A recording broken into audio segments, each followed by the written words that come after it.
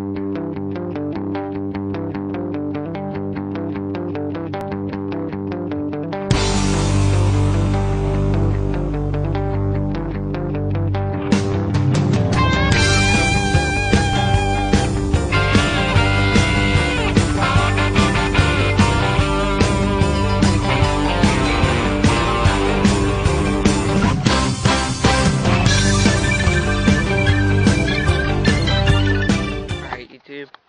Got the Sears finished here.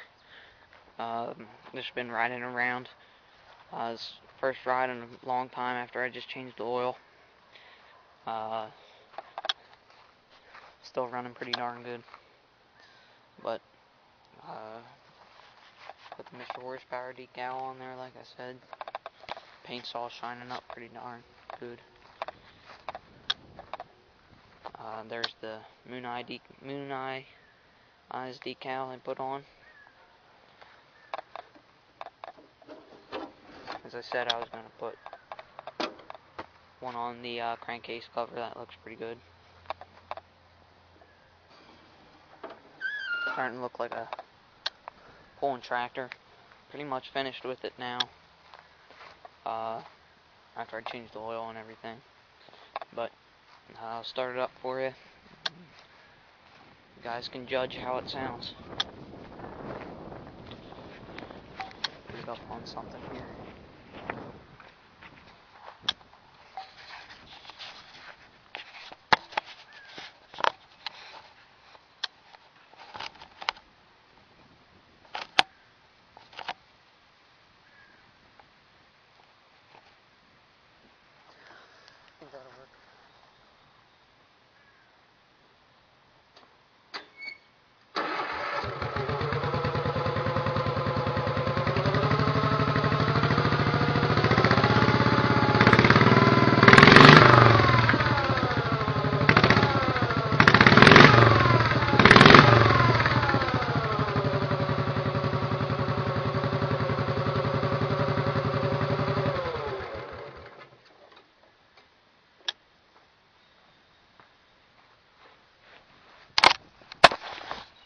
So that's it. Uh, it's all finished up. Still runs like a champ, but uh, I don't remember if you guys saw this from the other videos. I actually painted this up really nice. This weight box here.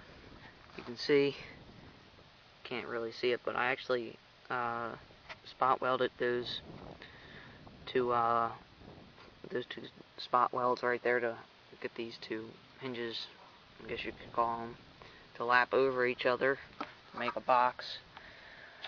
So uh, it's not completely straight this metal, but it's kind of hard to keep it straight when you're constantly banging your knees into it. But I think it looks alright. It's got the nice little orange frame underneath of it. That uh, looks really nice. Still leaks gear oil. I'm not willing to tear into the trans just because I know it's going to be a big job lifting this thing all out. But if it leaks gear oil, it's alright. Just pull more in. But it's not bad. This is all shining up. And I, if you remember, I did this all with Tractor Supply Co. enamel paint. And uh, that's about it, guys.